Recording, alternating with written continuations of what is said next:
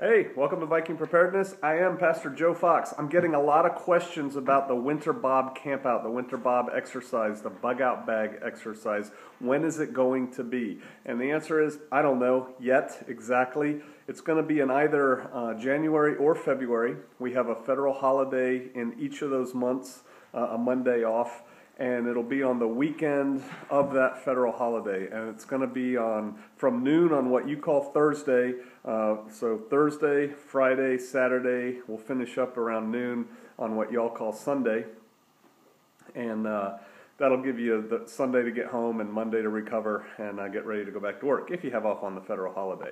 Um, I'm trying to make sure that some people can come. This is the 10th annual. We've done this for 10 years now this year, and uh, it's kind of important to me that, that some people who've been in on this from the beginning are able to come. I should have an answer, an exact answer of when it's going to be uh, within two weeks, I, I think. Um, so kind of tentatively mark your, your calendar uh, on both of those dates.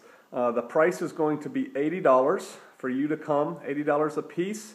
Um, there are family discounts for immediate family, like you know, husband, wife, uh, kids, that kind of thing. Um, you can talk to me about those if you're coming.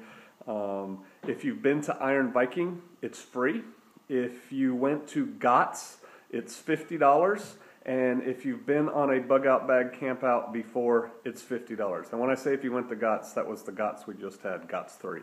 Um, so that's your price points, price breaks. Uh, what we do is we get together and we test our bug out bags in a rugged uh, environment during winter. If you can live out of your bug out bag for three days here um, in winter, uh, you're pretty good to go.